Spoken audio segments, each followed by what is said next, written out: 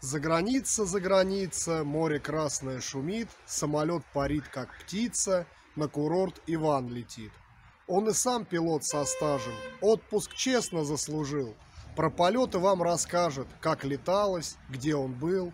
Заказал отель у моря, современный номер люкс, бросил вещи уж вскоре, с в воду в маске плюх, красота вокруг, кораллы, рыбки пестрые, коньки – не боится парень бравый баракудины клыки.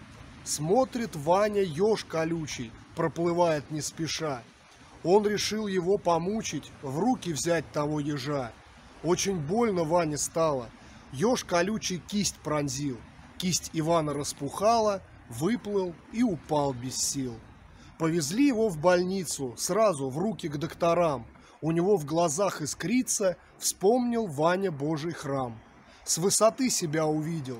Доктора над ним пыхтят. Страх такой во сне не видел. Умер Ваня, говорят.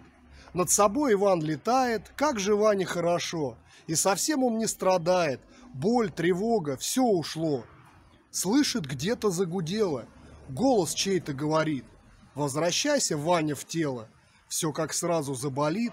Заметался Ваня телом, так Ванюша был спасен. А врачам он между делом рассказал, как было все. Доктора рты открывали. Как же мертвый видел нас. По ожившему рыдали. Слышал Ваня Божий глаз. Подлечили и в дорогу. Ваню просто не узнать.